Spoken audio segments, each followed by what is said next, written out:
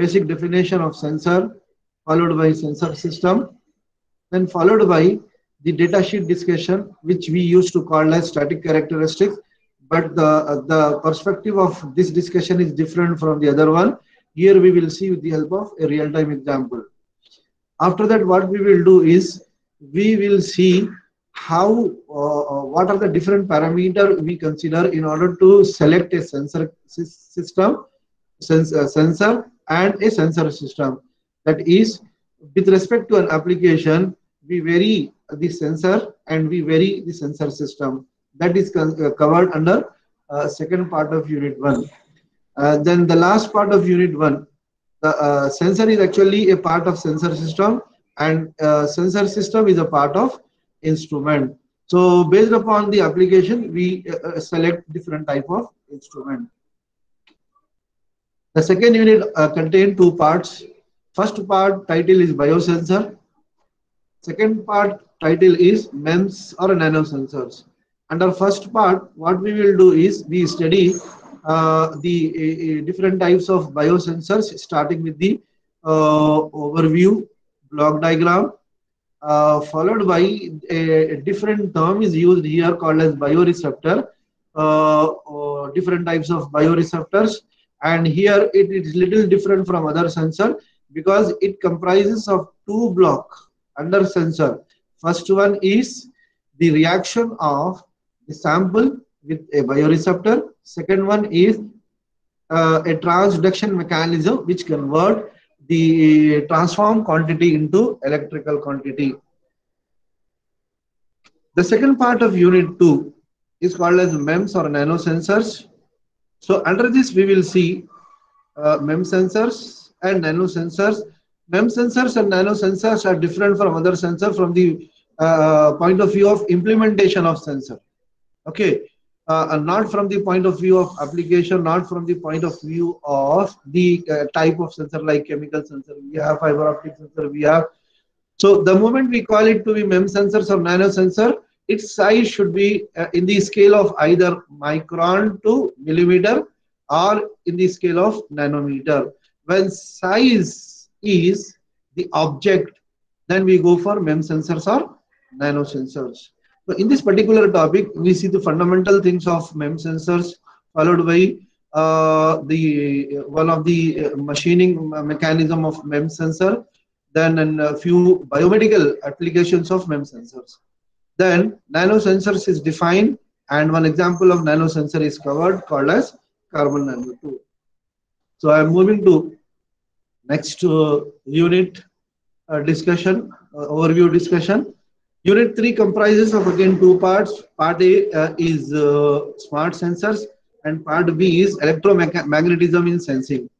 So smart sensors are nothing but a sensor which is equipped with additional component like analog to digital converter, filters, amplifiers, followed by most important thing, a microcontroller in which decision making capability or computing capability is available. After seeing some of the technology fundamentals, we see smart sensors application. Then second part of unit 3 is electromagnetism in sensing. So already we have studied this type of sensor, but this topic discussion is different. What we will do, what we are going to do is we see how the inductance, how the electromagnetism supports in sensing. Okay, we start with the fundamentals of uh, the uh, induction principle, uh, uh, uh including Faraday's law of electromagnetic induction and other things. Uh, in particular, we the the passive element which is used here in this particular part is inductor and then a few applications obviously are covered uh, on, on this principle. Then Unit 4 comprises of two parts. Part A cover chemical sensors, part B cover fiber optic sensor. Chemical sensors is application oriented discussion here. So uh, uh, all chemical, uh, a, few chemical sensors are covered over here. Uh, uh, uh, and the syllabus covers semiconductor gas detectors, ion selective electrodes, conductometric sensor and mass sensors. The part B of fiber optic sensor Uh, again, this is uh, uh, based upon the fiber optics technology. The fiber optics technology, how it can be used to perform sensing operation. See, there, there can be direct uh, uh, extraction of uh, parameter from the fiber sensor or it can be extracted in indirect way. That we will discuss in detail in our unit 4 part B discussion. So uh, after covering the introduction of fiber optic sensor, we start uh, covering a few applications. First application is temperature measurement with FOS. Second is pressure measurement with FOS. Third is displacement measurement with FOS. Fourth is turbidity measurement with FOS. And last one is pollution measurement with FOS. Hope you are noting the things.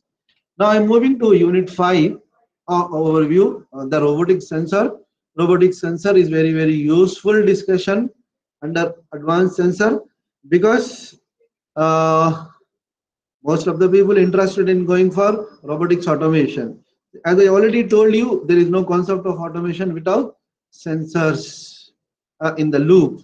So uh, uh robotic sensors actually uh, uh, uh rob robots actually uh, try to replicate the human beha behavior.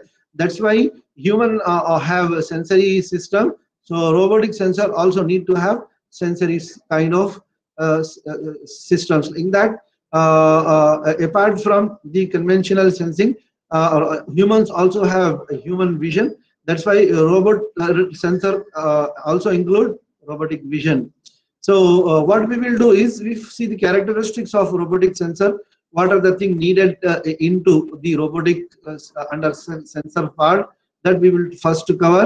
Then a few robotic sensors under both analog and digital categories are covered.